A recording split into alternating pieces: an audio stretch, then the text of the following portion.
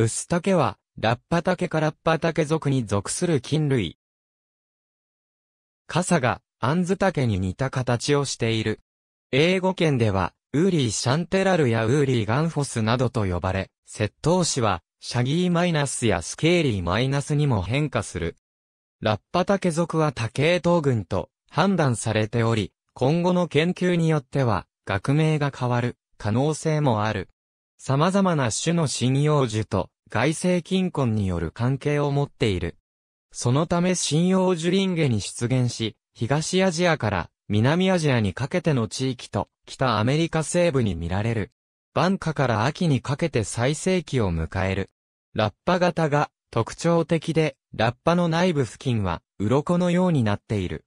ラッパの口の部分は15センチメートル程度に大きく、なり高さはおおよそ20センチメートルまで伸びる。穏やかな味をしているというが、一般的に食すると吐き気、下痢などの症状を引き起こす。ウスタケは1832年にアメリカの金学者、ルイス・デイビッド・ド・シューエニツがカンタレラス・フロックヤーサスとして記載した。しかし1945年にはロルフ・シンガーによってラッパタケ属に再分類された。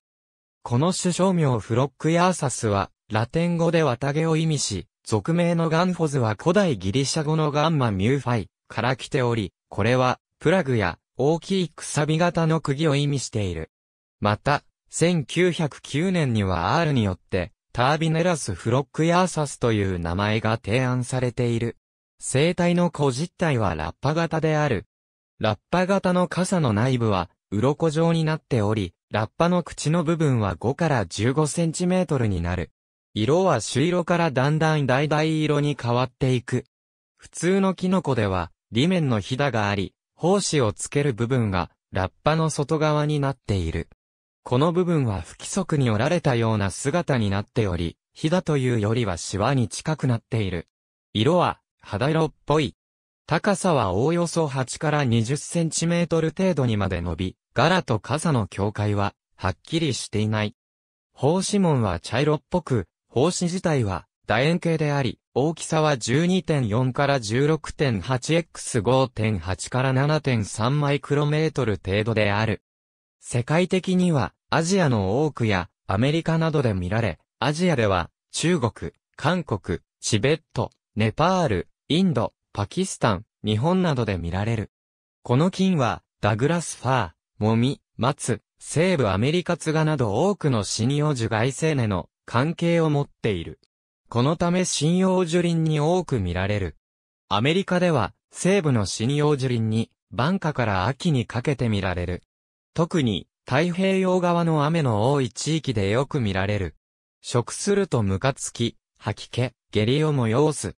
初期症状は8時間から14時間遅れた後に発症する。アルファテトラデシルクエン酸が単理されており、これが食毒に関係している。可能性もある。毒成分は水溶性で茹でこぼすと消えるとされているが、よくわかっていない。古い文献においては、ほとんどが食用と記載されている。特徴的な風味や匂いはなく、歯切れは良いという。シンプソン DP、キャッスル、エスラテンディクショナリー、ロンドン、キャッスルリミテッド、ピアニッシモ、883、ISBN 0から3045222570、リデル HJ、スコット R グリーク、イングリッシュレキシコン、アブリッジドエディション、オックスフォードユニバーシティプレス、オックスフォード、UK、ISBN 0から19から91万207から4。アンミラチ、ヨゼフ F. ジェームズ A. トラクウェアポール A. 方言、ポイゾナスマッシュルームズ・オブ・ザ・ノーザン・ユナイテッド・ステーツ、アンド・カナダ、ミネアポリス、ユニバーシティ・オブ・ミネソタ・プレス、ピアニッシモ、253から54、ISBN 0から8166140758ハット・ピーターセン。DH、ザ・ゲネラ・ガンフォスグロコ・カントレラス・イン・ノース・アメリカ。ノバ・ヘッド・ウイジャ21、1118、アンミラチ・エトール、P252。ありがとうございます。